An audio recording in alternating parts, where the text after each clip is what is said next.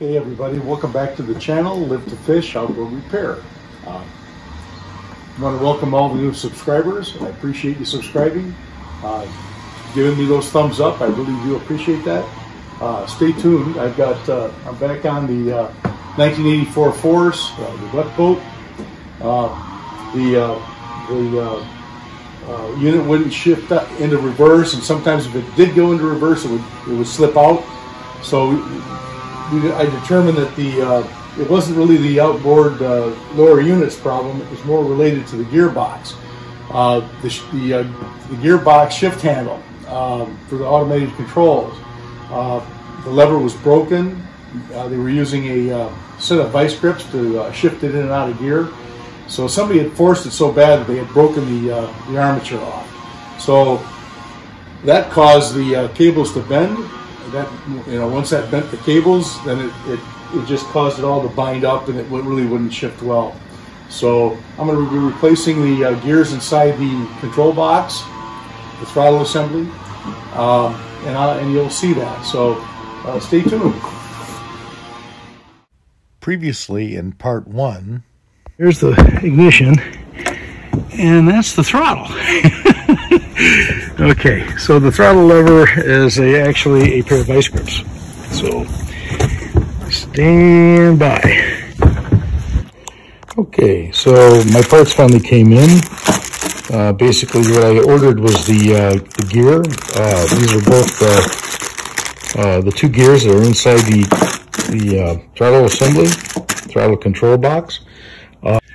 okay, this gear here these are brand new. Um, but this gear here is the uh, shifter cable. Uh, I guess they call it a clutch, uh, clutch gear. And uh, this here is for the um, for the throttle. Now, this has actually two teeth on it, as you can see. Now, the original the original gear that I pulled out of the unit is here. So you can see it's missing a tooth. So this has been creating some real problems inside that uh, control box. Uh, using too much force to uh, shift the gears and to throttle up on the throttle up and down on the uh, motor, and, and, it really caused some really some real stresses that caused it to break. So um, this is the original gear. You can see that the, the teeth are pretty well nicked up here. So it was just a matter of time where this one was going to start to go anyway. So I decided I'm going to just order all new and put these in. And uh, so this should uh, really improve the uh, shifting and throttling up and down of the motor. So uh, anyway, stand by. Also, also uh, I purchased a couple of new shifter cables. This was through uh, Great Lakes Skipper. Um, these are generic cables, and uh, this is 11 foot long for this. I believe it's a 14 foot long boat, but uh, this should do it. And uh, you can see there's the part number. Got two of them, one for the uh, throttle, the other for the shift. So uh, this this should work really well. So stand by, and uh, you'll see me dismantle that that control box. Okay, so you can see I've gotten the control box off of the boat, at least uh, four screws and pull it off. Now the uh, shift cable is here to the left, the right one is the, uh, oh I'm sorry, no, that the, the left one is the throttle and the right one is the shift. So I just got to undo these screws, um, pull the box out, I'm going to clean it up inside, get all that grease out of there, and then uh, reinstall it with new, the new cables. So stand by. Okay, I got the box all cleaned out, all the old uh, oil, grease, nasty stuff in there. Um, this is the new handle. This is actually a used handle I got off eBay, but that's the uh, appropriate one for this box. So I was able to find that. So these gears will go in. I also found the broken uh, tooth off the gear that was inside the box. So that's uh, that's a good thing, I guess. So it won't uh, it won't jam up anything else in there. So anyway, okay, I'm going to start reassembling. So uh, this gear went to the front. This one went to the back. They kind of went like that. Um, cables come in and they click up. So I'll uh, Uh, I'll try to show you as I do this, but uh, depending on how easy it is to film. But anyway, the, the handle goes on the opposite side. This goes into the this goes into the handle, and that's what that's what controls the gears. So anyway, uh, stay tuned. This is the box, the front side of the box. Cables come in on this side. Uh, the handle goes in here.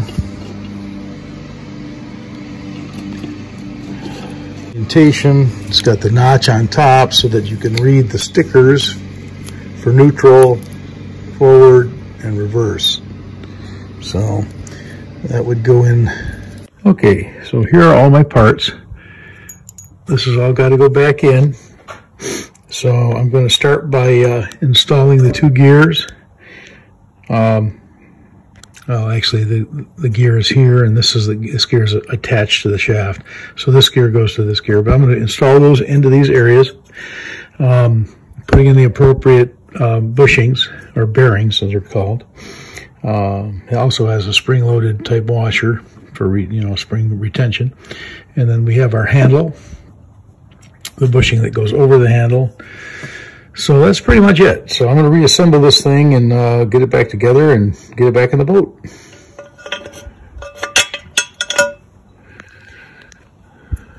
That, like that. Okay, and then this. Okay, actually, this goes on first. Then this like that. Okay.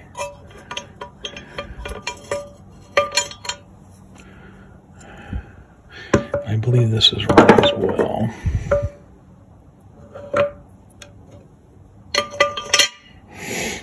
Okay, so the gear just drops here onto the other gear where they meet up. This actually goes on over that. Okay.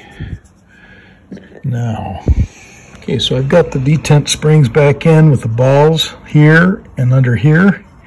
I just had to use a screwdriver and wedge them up, you know, unspring them and then stick in the balls and reinsert them. So, um, so everything's in place. I just got to get the uh, cap on and then put the uh, the levers on for the controls for the shifter, so for the cable. So stay tuned. to. Uh, remove the cables, basically you just have to pull, push back and pull up and that frees that up. Same with this connection. Push back, pull off, they come right off. I'll need a screwdriver for this and this and these cables will come out. I'll pull them right out through here and then I'll undo them across the uh, side there. They're all wire tied in or secured so I'll have to pull them out and then put new ones in. So okay, what I wanted to show you was that with the button all the way out, that's all the way out like it's supposed to be. But if you try to accelerate forward, it will only allow you to go so far in neutral, and that's the neutral uh, position. So you're revving it in neutral, and that's as far as it'll go, so you don't burn your engine up. So that's like the detent to uh, just a high rev uh, while you're warming up. When you put it back in neutral, you push in the button, now you can accelerate all the way. And you can see that, I believe, as I accelerate it all the way, you can see that on the engine. Where this is the this is the throttle all the way engaged. So, and it's out of gear. It's in the full forward gear, forward uh, position. Now I'll put it in reverse, and you can see that it goes into reverse. Okay, that's neutral. I don't know if you'll be able to see it from here. But... Okay, and now that is in reverse. And that's full throttle reverse. And I'll take you over to the engine and you can see now this lever is completely off the neutral in reverse. And that was the problem. We were not getting this to engage fully into reverse. So now that that's happening, it'll, once we put the lower unit in, it'll allow that lower unit to fully engage in reverse and that, that solves our problem. So I'm going to get the, when I get the impeller in the mail, I will uh, reinstall the impeller and then uh, put it back together, and then we'll start it up and see if we can get it to go forward and reverse. So I think that was the biggest problem. Now, the only thing I have to do now is just wire tie up everything, all the cables up, put them back. There, I've got them in position. I've just got to, I've just got to wire them up, zip tie them, and uh, and and it's good to go. So um, maybe uh, uh, when I get the impeller, I'll get that running. So that might be tomorrow. But just to do a wrap up here, um, the uh, shift box, control box is now it's in neutral. You can see the new N for neutral. When I when I throw it forward, that's to the stop. It only goes so far on the um, on the accelerator.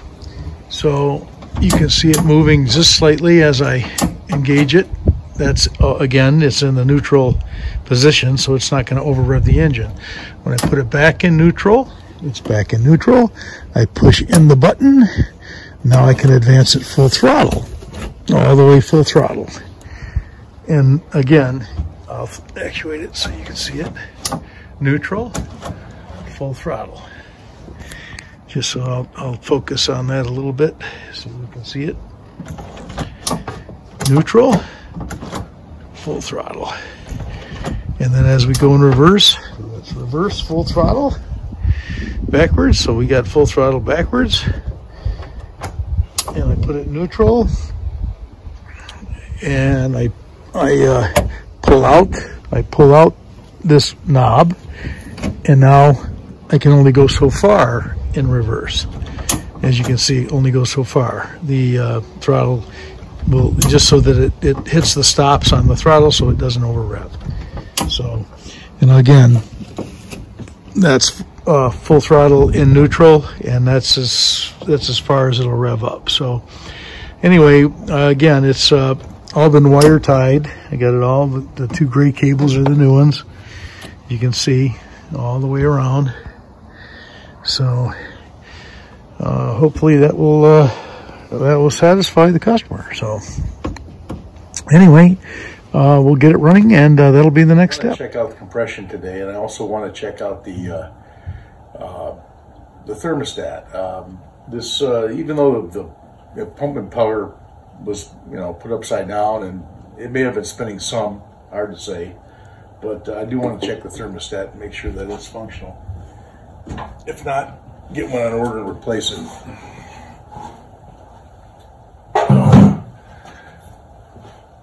thermostat is up here at the top. Uh, but first I want to pull the spark plugs and do a compression check and just you know, just see if if this overheat condition uh, did do any damage. Well, it should be okay. We saw it running yes, uh, yesterday in part one.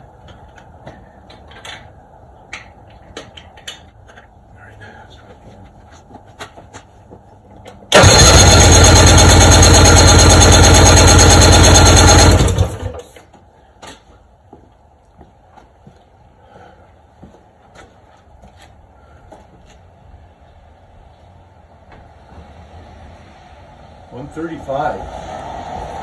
135.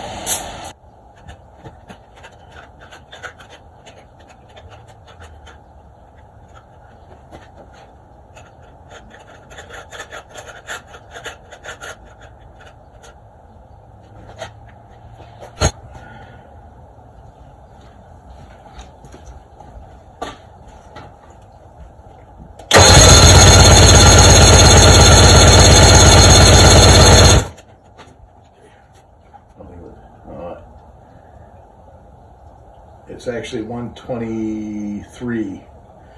123. So we have uh, 135 and 123. So that's not bad. That's pretty good actually. 125, 123, 135. The service manual calls out for a uh, used engine to be eh, that's in good shape to be anywhere between 120 to and 140 psi on the compression. Uh, the brand a brand new motor is rated at 130 to 150 psi. So those are the specs.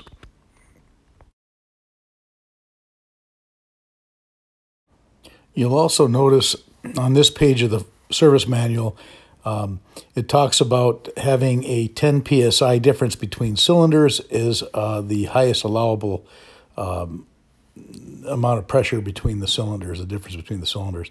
I uh, uh, measured about 12 psi, um, slightly higher than the manual suggests. This could be an indication that it was overheated and that the uh, head could be warped or the head gasket could be uh, compromised. Uh, I did suggest that to the owner. Um, that he might want to look at that down the road if he has problems with hard starting and also with uh, with um, loss of power. Hey, how you doing? Yeah, got another boat. No, it's not mine, but it's uh, it, somebody on Facebook. They uh, they're having issues with shifting, and uh, looks to they, they, we're thinking it was the lower unit. Yeah, I guess. Bought another van. Can you can you envision live to fish outboard repair? Yeah. Yeah. I, all right, that's tight. That's good. That's good.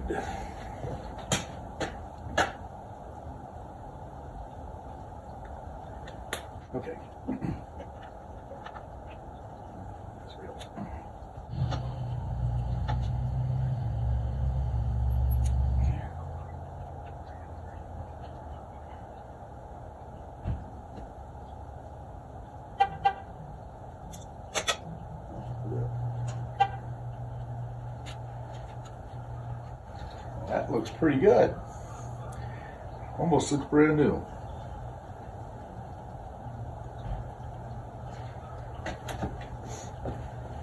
I'm going to stick that in boiling water and uh, see if it'll open up for me. The thermostat checked out okay. It started opening up just before the water boiled. So I'm guessing it's probably around 140, 150 degrees that it started to open.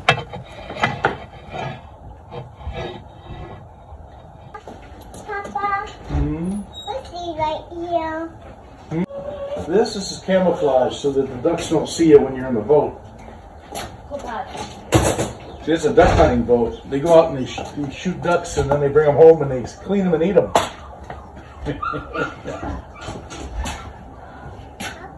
Papa, What? is this book clean? Huh? Is, is here It's got water in it, but it's a duck hunting boat. Don't have to be clean. No, in here. Don't have to be clean. It's a bunch of guys go out duck hunting. they bring shotguns and uh, Just as a side note, uh, while I'm waiting for parts, I thought I'd uh, play around with this parts motor, uh, this 50 horse force, and you can see that this motor's not stuck. Uh, the owner thought it was, and uh, I actually did a compression reading on it as well. 145 pounds in both cylinders. At least the owner knows now that it's a viable powerhead. So stay tuned for part three, and uh, you'll actually see the uh, motor running, and uh, we can verify that it does shift in and out of gear properly. Uh, I'm still waiting on the impeller to be shipped to me. It's been two weeks, and I'm still waiting on parts. So thanks for watching, and uh, don't forget to subscribe give me a thumbs up.